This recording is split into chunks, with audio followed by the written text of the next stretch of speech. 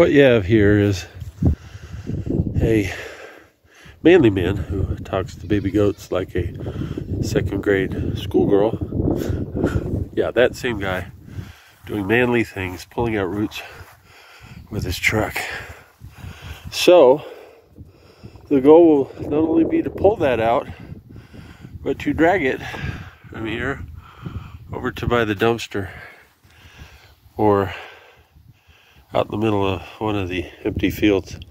And let it sit and dry out and then when I'm feeling froggy I'll take an axe or my friend to it try to break it up but that's that is one pinyon pine two junipers and a little pinyon pine and all their roots mixed together.